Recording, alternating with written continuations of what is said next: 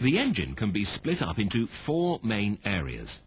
Compressor, combustor, the turbine and the exhaust. The compressor has two jobs. It sucks and squeezes, drawing air in from outside, and also compressing the air. Some of the air is forced into the combustion chamber at very high pressures, so that when fuel is mixed with it and ignited, a rapid increase in heat energy is produced.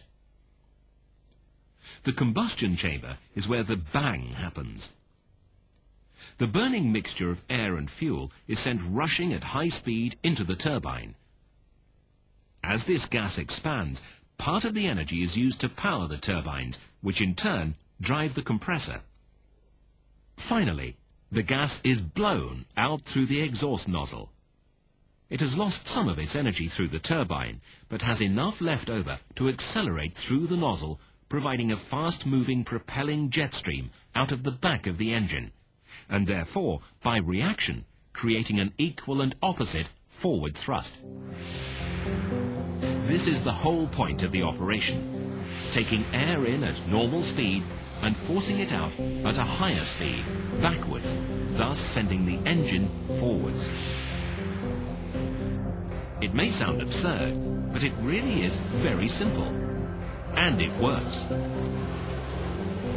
It is important to remember that these individual stages form a complete and continuous working cycle, a constant generation of power.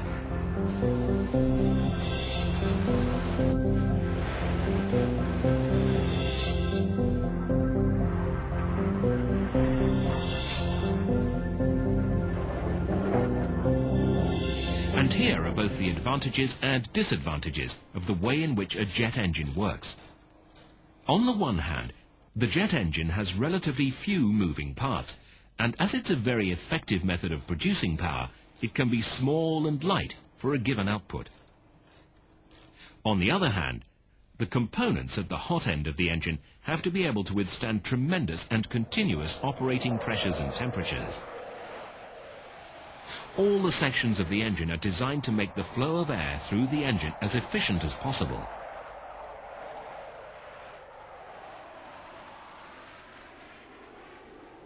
The compressor does this by having both rotating and stationary blades, or rotor and stator blades.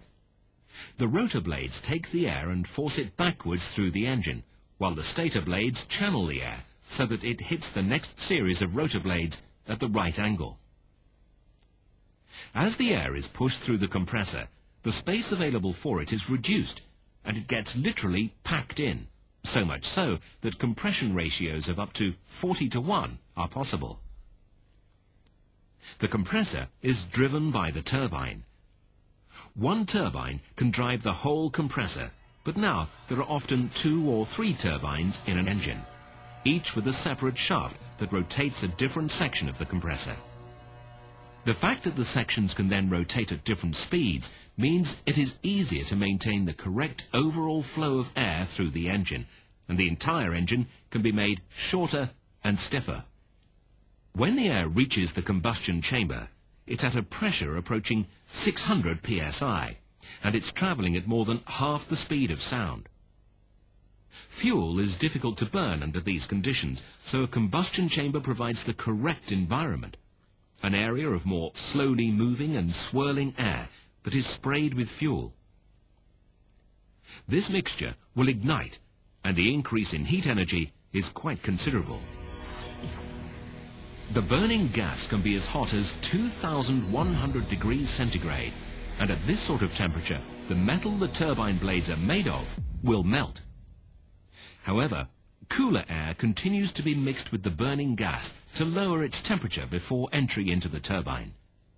And more cool air that had not been taken through the combustion chamber but diverted for cooling purposes brings the operating temperature of the turbine blade down to a more manageable 1000 degrees or so.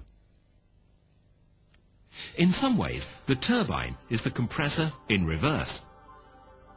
Nozzle guide vanes channel the gas onto the turbine blades, which are shaped so that the gas flowing over them is used to generate the optimum power. The blades are slotted onto a disc which rotates the shaft that is connected forwards to the compressor. Often, as well as driving the compressor, the turbine will also provide ancillary power to even drive a propeller. It is vital that turbines are perfectly designed and manufactured. Just this one stage, the high-pressure turbine can generate up to 70,000 horsepower, at which point the blades will be spinning at 1,500 feet per second. That's over 1,000 miles per hour. So everything must be done to ensure that the passage of gas through the turbines is as smooth as possible. Similar care is taken as the gas leaves the engine through the propelling nozzle. It is these exhaust gases that provide the thrust to power the engine, so essential that they are propelled from the engine at exactly the right speed required by the aircraft. This is largely determined by the size and shape of the propelling nozzle that can give a kick to the gases as they leave the engine.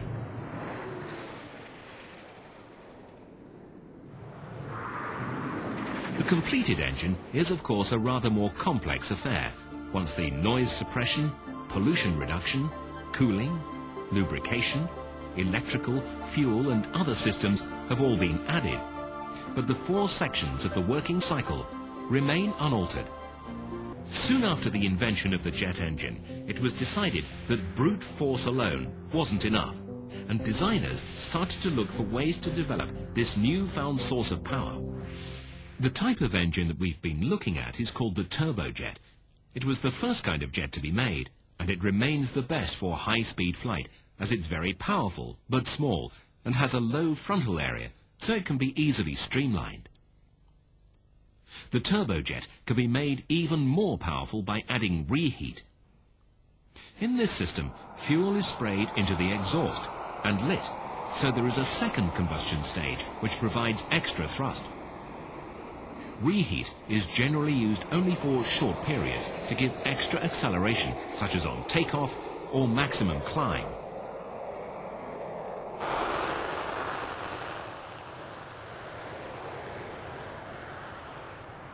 On landing, however, deceleration is wanted, and then thrust reversers are used. These are flaps that move to divert the gas forwards rather than backwards through the exhaust. This has the effect of slowing the aircraft down, as the jet reaction tries to propel the engine in the opposite direction to the airflow.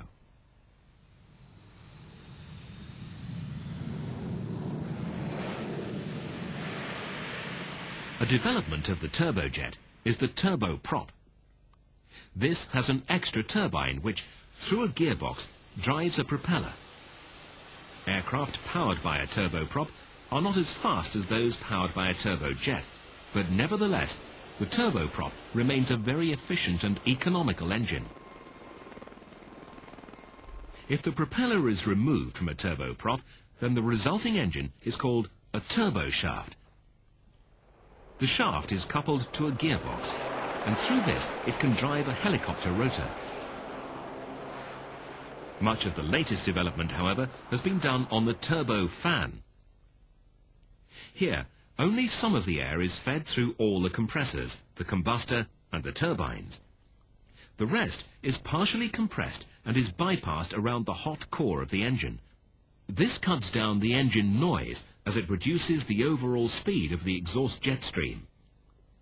It also makes the engine very economical since it's aerodynamically more efficient to have a lot of air moving relatively slowly rather than a little air moving relatively quickly.